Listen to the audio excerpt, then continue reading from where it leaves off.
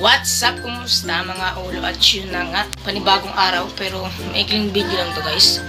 So sorry guys dahil dalawang araw tayong hindi nakapag-vlog. Dami namin ginagawang pagpapractice Paghahanda para sa pinatawag na speech choir. So, so guys kung nakikita nyo ngayon wala akong kasama dito. Ako lang mag-isa dito. Dahil yung kasama kong isang ulo Baka natulog na dahil dahil alas 3 na ako na- alas 3 na ako nakauwi. At ngayon ako nakapag-vlog dahil i-edit ko agad to para sa inyo para mapanood nyo ng isang malapit na video ulit. So, namin muna makalimutan. So, hindi ko makakalimutan mag-shoutout ngayon guys. Dahil wala kami challenge na gagawin. So, shout out kila Simon Patdo, kila, kila Bea Lumpay, kila Miki Pusuga, Jamel Santisas, kila Rowel J. Rubino, at kay Randel na hindi ko kasama ngayon. Shout out sa inyo guys. Shout out kila Aisel De Castro, kila Ken Guacho, kila Ken Camposo, kay Gerson Dimain. So, so shout out sa inyong lahat guys. So, ayun na nga guys.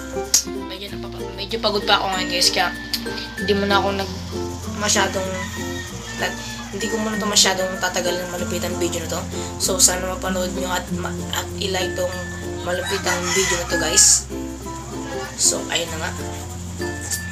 So, bukas, sisikapin ko talaga makapag-vlog dahil araw-araw ang practice namin. Araw-araw ang practice namin, sisikapin ko talaga makapag-vlog, promise. So, para, para rin sa inyo to guys. So, inform muna, 259 subscriber na tayo.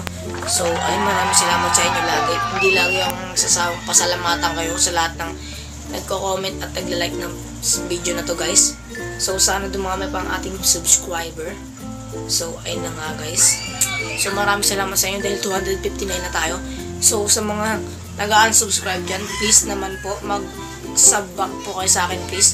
Dahil kailangan, kailangan nyo rin po mapanood ang malupitang at lumaganap ang mga ulo natin dyan guys. So, ito lang muna ang ating malupitang video guys. Magpapahinga muna ako. Dahil bukas gagawa magigain pa ako ng energy para makapasok araw-araw. At yun na nga guys. Maraming salamat sa panood ng maikling video na to sana magustuhan nyo yun lang guys. Bye po